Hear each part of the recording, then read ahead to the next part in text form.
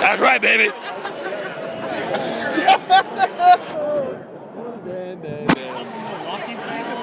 no, but I just turned on my video camera right before he hit that.